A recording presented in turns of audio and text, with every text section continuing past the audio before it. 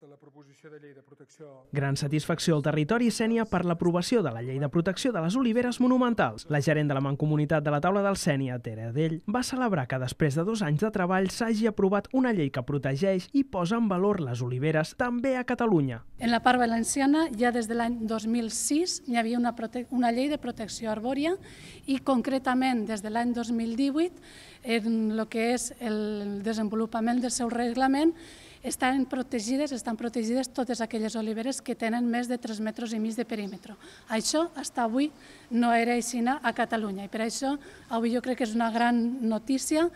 pels pobles de, de la part catalana la llei protegeix de facto les oliveres amb un tronc igual o superior als 3,5 metres i una alçada de 135 centímetres, però també permet que els propietaris que ho vulguin puguin sol·licitar la protecció d'oliveres a partir d'un metre i mig de perímetre de tronc. Los propietaris d'oliveres que tinguen més de metro i mig, o sigui, 150 centímetres,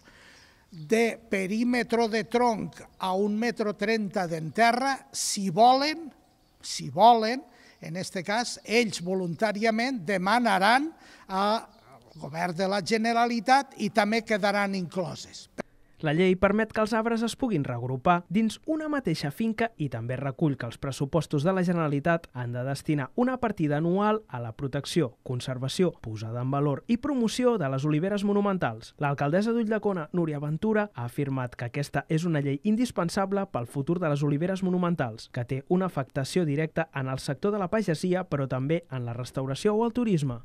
que evidentment no ho soluciona tot, però que era indispensable per a poder començar a veure ja el futur d'una manera diferent. Tenim protegits estos, estos arbres que són el símbol del nostre, del nostre territori, perquè a més té una afectació directa sobre tots i cadascun dels sectors econòmics. Primer que res, evidentment, sobre la pagesia, eh, molt castigat, a més, el sector de, de l'oli, que necessitava també un reconeixement a nivell del, del nostre país, instruments per a poder lluitar en aquest cas contra l'espoli d'oliveres i també per a posar en valor l'oli mil·lenari com a llança, podríem dir, de la promoció de la resta d'olis que fabriquem al territori en una gran, en una gran qualitat. L'alcalde de la Sènia, José Ramon Bellaubí, ha remarcat el valor patrimonial de les oliveres monumentals, mentre que l'alcalde de Santa Bàrbara, Antoni Ullés, ha destacat el seu potencial turístic. Les oliveres mil·lenàries és un, és un patrimoni històric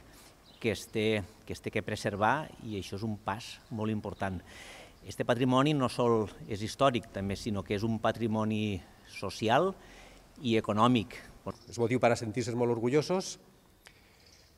pel patrimoni en si, eh, d'estos éssers vius que tenim al poble, però també pel potencial turístic que representen eh,